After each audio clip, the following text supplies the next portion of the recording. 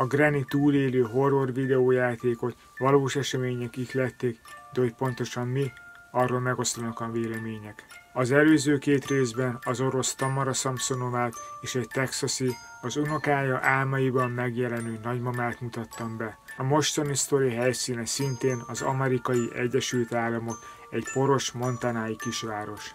Az egyik nyáron egy hat éves kisfiú és egy nyolc éves kislány látogatta meg az addig sohasem látott nagymamáját.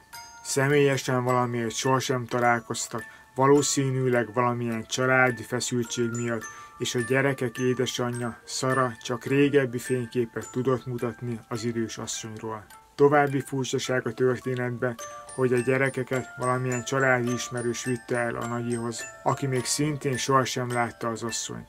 Először nem is volt semmi probléma, jó hangulatban teltek a napok, a kisgyerekek sokat beszéltek a szüleikkel. Úgy tűnt, hogy a nyári vakáció csodásan fog telni. Aztán, amikor az egyik reggel a kislány videótelefonált az édesanyjával, akkor a háttérben feltűnt a nagyi, amit éppen reggelit csinált. Szara megkérdezte, hogy ki az az idős nő a háttérben, mire a lánya csodálkozva mondta, hogy de hát ő a nagyi.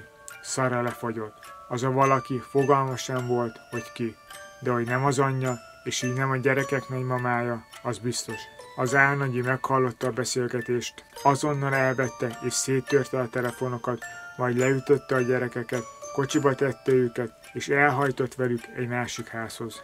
Az édesanyja rögtön értesítette a hatóságokat, akik a házhoz kiérve nem találtak senkit, legalábbis élő embert nem. A pincében lent feküdt az igazi nagymama holteste. A rendőrség azonnal hajtóvadászatot indított, egyértelművé vált, hogy az ismeretlen öregasszony megölte a másik nőt, és gyakorlatilag ellopta a személyazonosságát.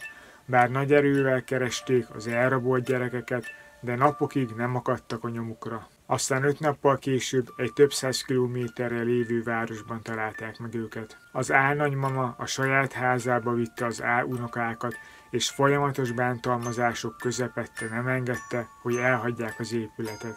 Nehezen, de végül sikerült megszöknie a kisfiúnak és a kislánynak a horrorházból. Kiderült, hogy az emberrabló idősnő őrült volt, nem volt családja, így gyakorlatilag szerzett egyet magának.